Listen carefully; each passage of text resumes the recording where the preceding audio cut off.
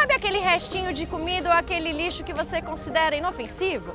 Pois é, se jogado no chão, ele pode atrair diversos roedores e pragas urbanas. Por isso eu, você, toda a população deve se conscientizar e sempre procurar a lixeira mais próxima. Afinal, a gente não quer que os ratos se multipliquem, não é mesmo? A Prefeitura de Santos tem feito a parte dela e só no ano passado realizou 579 ações de desratização só na orla da praia. Hoje a gente veio acompanhar mais uma dessas ações. Bora?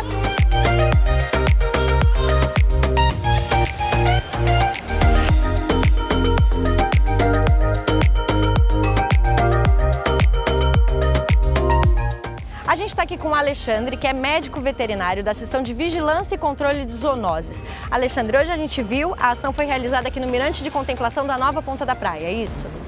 Hoje a gente está fazendo um repasse das ações que a Prefeitura faz durante o ano todo, tá?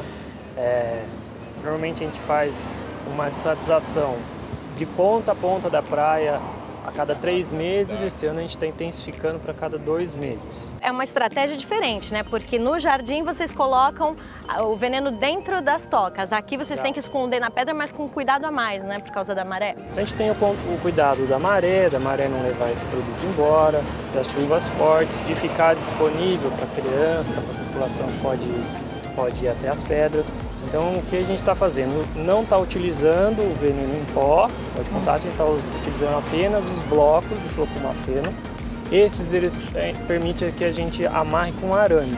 E a gente chamou a atenção que a população também tem que fazer a parte dela, né? Porque não adianta nada a prefeitura vir aqui fazer a desratização, voltar a fazer o repasse se as pessoas continuarem jogando comida na rua fora da lixeira, Exatamente. né? Diferente do pó, esse produto depende de ser consumido pelo rato. Então se tiver resto de comida, lixo na rua, ele vai preferir o lixo, ele não vai consumir o, o produto, tá? Obrigada, Alexandre. A população deve ajudar, né, pessoal? Todo mundo fazendo sua parte. Recado dado.